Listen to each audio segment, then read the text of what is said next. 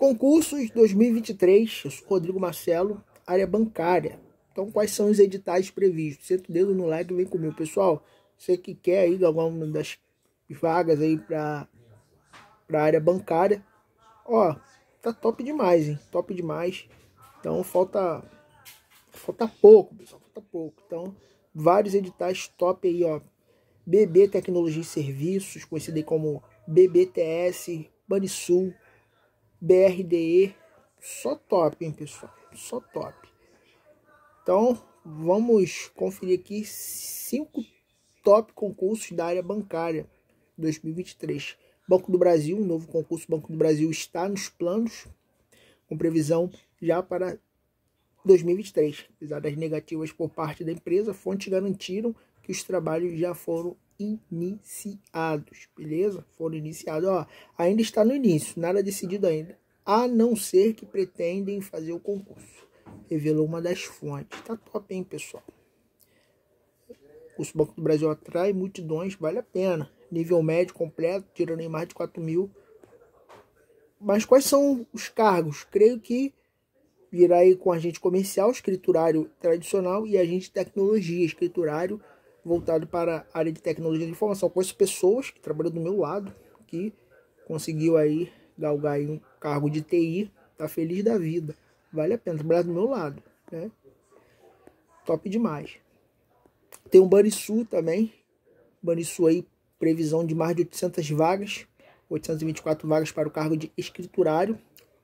Considerado a porta de entrada para quem tem aí ensino médio completo. Né? Top demais, hein? Recentemente, fontes ligadas ao processo afirmaram que a previsão é de que o edital seja publicado ainda em 2000, é, que o edital seja publicado ainda esse ano, né, 2022, e provas em 2023. Tá legal? A banca organizadora já foi escolhida, a banca 6 Gran Rio está de frente, tá bom? Atualmente o banco seleciona, é, seleciona para preenchimento de 274 vagas para o cargo de tecnologia da informação de nível superior. Os aprovados aí vão estar sorrindo em 2023, né, ano aí das convocações. BRDE, publicado de tarde de 2016, o Banco Regional de Desenvolvimento do Extremo Sul prepara um novo concurso. A banca organizadora, por exemplo, já foi definida. Nesse caso aí, a Fundatec. Banca boa, libera provas. Se você for acessar agora mesmo lá o site da banca organizadora, você vai ver provas liberadas. Vale a pena, pessoal, você já estudando, já conferindo ali as matérias, colocando em prática seus conhecimentos, vale a pena.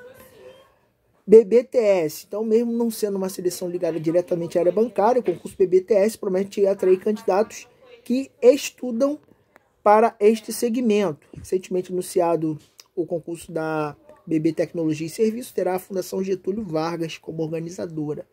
Apesar de contratar a banca, o BBTS afirma que ainda não foram definidas datas de publicação do concurso, número de vagas, cargos para o edital. Beleza? Diante da negativa oferta de vagas e os cargos que serão oferecidos já estão definidos. Isso porque, para contratar uma banca, os órgãos, autarquias e estatais devem dar essas informações em seus projetos básicos, beleza? Então vamos aguardar.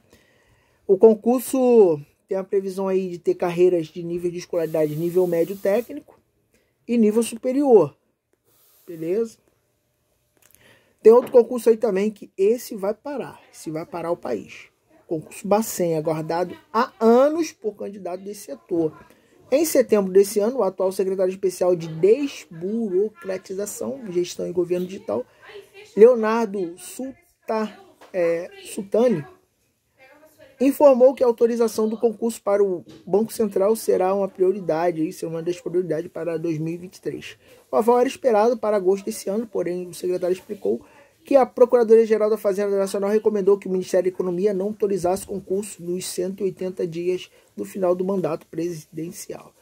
Então, o concurso busca o aval para realizar aí, né, concurso top com 245 vagas, sendo 200 para analistas e 30 para técnicos e 15 para procuradores. Então, é, para nível médio, R$ 7.741,31 centavos, incluindo já o auxílio alimentação. E para o cargo de analista, é preciso ter aí nível superior em qualquer área de formação. Os salários Após a aprovação do concurso, são 19.675,06 centavos. Já é, para se inscrever as vagas de procurador, é exigido bacharelado em Direito e exercício comprovado de dois anos de prática forense. Os vencimentos são de 21.472,49 centavos. Tá top, hein? Tem outros, né, outros possíveis cenários aqui. Né? Tem concurso do Caixa também rolando aí, né? Os boatos. Tem o Banestes também. Banese. Tem o BNB e BRB. Tem aí esses concursos aí, né? Podem sair. Mas vamos aguardar, vamos ver qual vai ser, beleza? É, é isso. Eu tô ficando por aqui, né? É, até o próximo vídeo. Espero ter te ajudado. Até a próxima. Eu fui.